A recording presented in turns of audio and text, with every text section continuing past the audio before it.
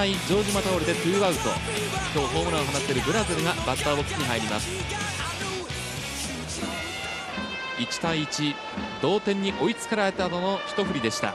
打った瞬間それと分かる当たり、まあ、今年はこの7番のブラゼル8番の櫻井一発がある下位打線も売り物の阪神タイガースです。広島阪神の1回戦。放送席の解説はなにわの名参謀市枝修平さん。そして7年ぶりに NBS の解説に復帰していただきました。これもいい当たりです。2打席連続か。いったブラゼル2打席連続のホームラン。これで開幕3戦目から2試合で3本のホームランということになりましたブラゼル。さらにタイガースがリードを広げました。いやー市田さんこの7番のこの一発というのは威力ありますね。あのー大阪の時はね開幕3連戦は触れてなかった、まあ、ホームラン打ちましたけれども、え確かヒホームランとツーベース気味のヒットかな、ーはい。あ2本だったんですけどね、まあ、なんかこうボールばっかり振って入れ込んで、えうんもう少しストライク打ちゃいいのになっていう感じだった、ー鉄人の金本です。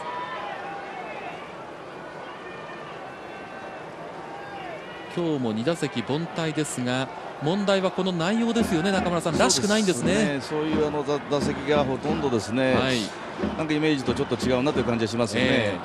まあ、自分でもそういう気持ちは強いでしょうね、はい。だから僕はおかしいぞという気持ちだと思いますよね。球団からの正式な発表というのはありませんが今日は一部スポーツ紙で、まあ右肩痛という見出しが踊りましたこの金本です、まあ、それがあってんじゃないかな。はい。その影響がそういう感じはしますかの見ていて。右腕のリードが全く使えてませんからね、はい。そうなんですが。えー去年は開幕直後というのはものすごい勢いでした。4月の月間3割7分9厘。そして4月は開幕3ゲームで13打数6安打。開幕から13試合ヒットが続いたという昨年とは正反対の開幕スタートになりました金本。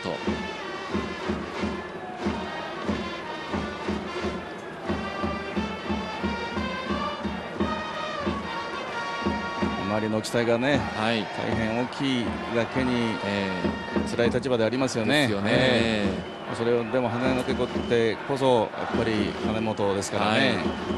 出続けることそして打つこと、はい。これをまあ義務付けられている金本。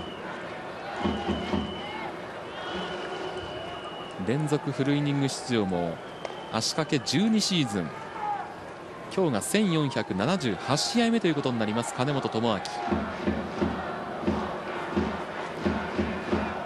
4月になりますと42歳。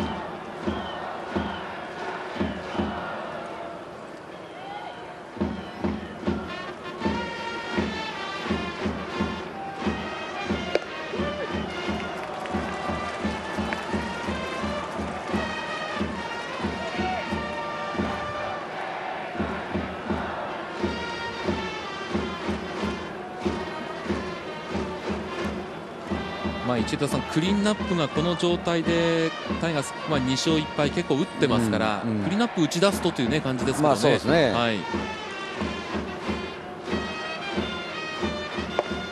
クリーンアップ打ってるから、まあ、はい。いずれは打ち出すんですよ。はい。うん。でまあまあ確かに今あー何打数かゼロですけどもそんなに大したことないですね。もうその、えー右肩さえ治れば、はい、うん年は感じないですよそんな。40まもなく2歳というのは感じないわけですね。スイングの鋭さはね、はい。全くありませんけどもね。ええ。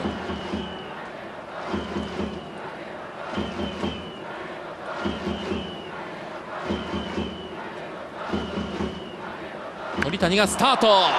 久しぶりに出ました。14打席ぶりのツーベース。これがタイムリーになります。兄貴金本にも出ましたさらにリードを広げましたタイガース。心配していた金本にもタイムリーツーベース。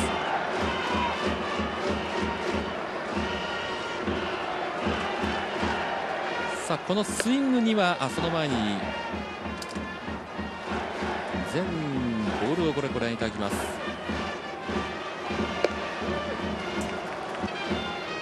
5番ね真ん中低めなんですよ、えええね、で一番そのおその肩がえはい。もし痛くってもええ。一番手が楽に操作でああなるほどはい。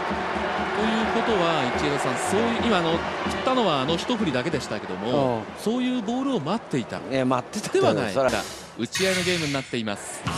立ち上がりタイガースは1回ツーアウト1塁2塁から新井の先制タイムリーヒット。開幕4試合目にして初めて先制点のタイガース。その裏カープの攻撃は二塁三塁から天谷のショートゴロの間に1点を取って同点に追いつかれました。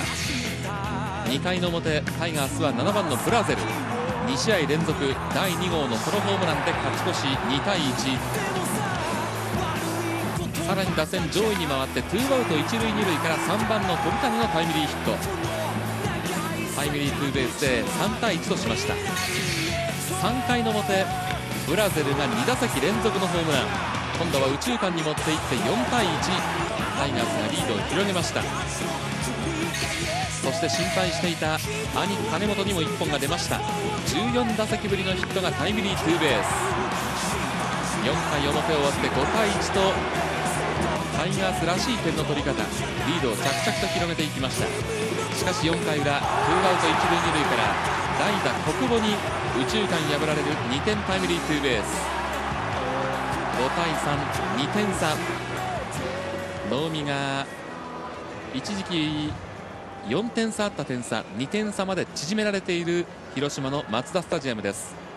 広島阪神の1回戦放送席の解説は市枝周平さんそして中村克弘さんお二人でお送りしていますが市枝さん能見に期待感が大きかったんでちょっと能見にはどうですか？三角印ぐらいな感じなんですか？まあしかし、はい。開幕初めての初戦ですね。うんという感じをはい。ちょっと引いてあげないとかわいそうなのかなっていう気がしますよね。ええ。ただ再三お話出ていますが中村さん、打線の凄さは今日も実感させられますね。そうですね。あの今年のタイガースの戦いぶりは非常になんかワクワクしますね、ええ。ーまあ、もちろんねあの緊迫した投手戦も面白いけれども、はい。楽しいけれども、えやえっぱりなんといっても野球はやっぱり点取りゲームですからね、破壊力ある打線は非常に、はい。あのお楽しみですね。ええ。さあタイガース打線非常に注目ですが NBS では4月のタイガースをご覧の日程で放送することにしております。伝統の阪神・巨人戦を含む6試合を生中継。今年も NBS のプロ野球中継どうぞお楽しみにお待ちください。さあ6回はマートンからです。さあマートン伸びていった場外まで行きました。マートンの来日初アーチが出ました。マートン選手第1号のホームラン。マートンこれで猛打賞6対3先ほど放送席で長打力はという話が出てましたが内田さんよく飛びましたね今ね。うんあのはい。2番ブラゼルがキャンプの時あんまり調子良くなかったのかな、えでそのマートンの方が左中間にほぼ3本に1本ぐらいの割合で放り込んでたから